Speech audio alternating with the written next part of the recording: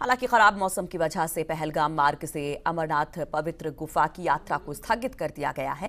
अधिकारियों ने बताया कि भारी बारिश के बाद सुरक्षा कारणों को ध्यान में रखते हुए पहलगाम से अमरनाथ गुफा जाने वाले रास्ते को बंद कर दिया गया। अधिकारियों ने बताया कि बालटाल से गुफा तक जाने वाले तेरह किलोमीटर लंबे रास्ते पर यात्रा सुचारू रूप से चल रही थी, लेकिन भारी बारिश की वजह से पहलगाम मार्ग पर यात्रा को स्थगित करना पड़ा।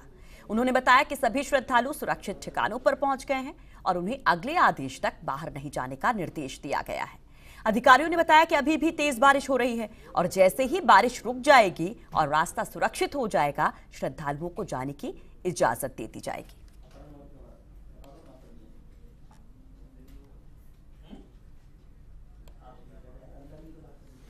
तो पहला जत्था अभी कुछ दिन पहले ही रवाना किया गया था, लेकिन खराब मौसम मौसम की वजह से इन यात्रियों को रोकना पड़ा है। बेस कैंप में ही रहने की निर्देश दिए गए। हैं